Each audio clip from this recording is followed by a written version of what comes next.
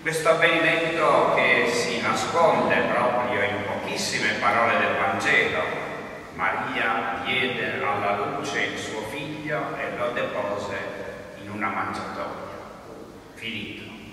Tutto il resto è un po' una rielaborazione nostra ed oggi noi attraverso il rito, attraverso la celebrazione del Natale, riviviamo quegli eventi. Abbiamo bisogno di riti per poter comprendere, per poter gustare queste cose. Penso come siano presenti questi riti in tutti i campi. Il rito, per esempio, del della tavola del, giorno di Natale, che non può essere semplicemente il sedersi per nutrirsi, ha un significato particolare.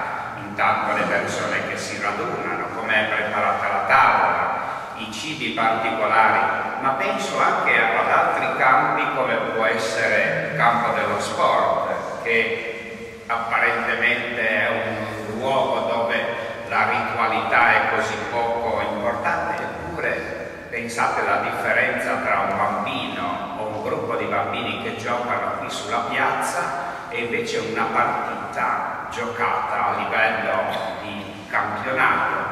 C'è tutta una ritualità che permette di gustare fino in fondo.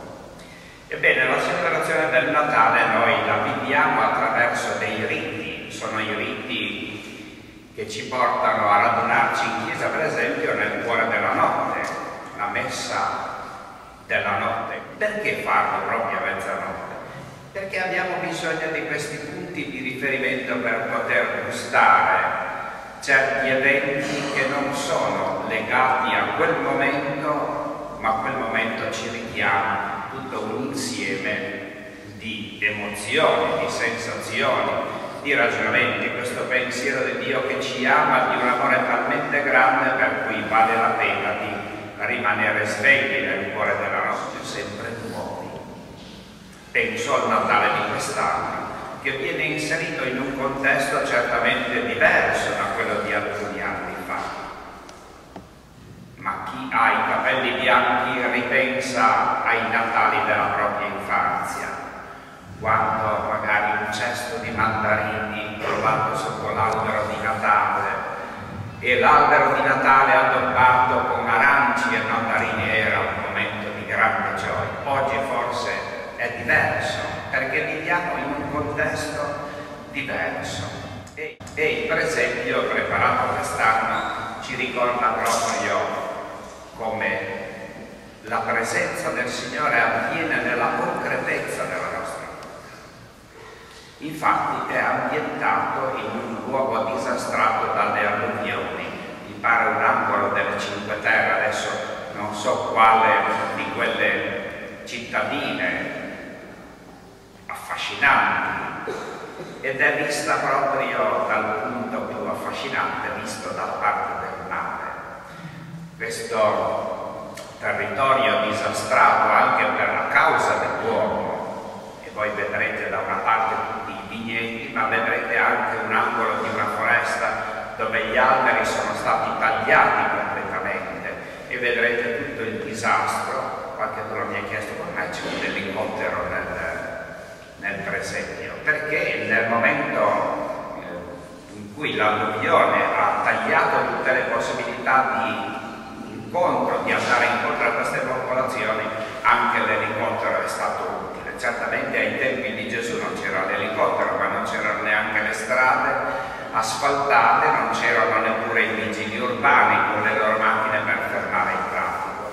Ma questo per esempio indica colui che viene a salvarci. Davanti a, questa, a questo mare una zattera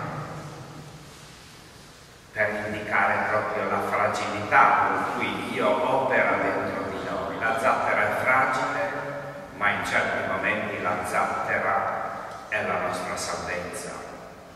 E su questa zattera coloro che hanno preparato il presepio hanno posto le figure di Maria, Giuseppe e il bambino e un'anfora d'acqua per portarla a queste popolazioni che dall'acqua avevano avuto la rovina ma non avevano l'acqua per potersi nutrire, per poter vivere.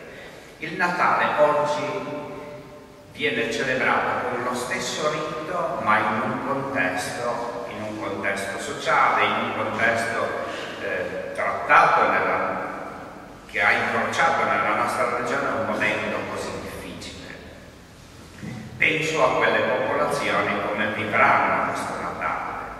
Probabilmente non hanno bisogno di tante cose.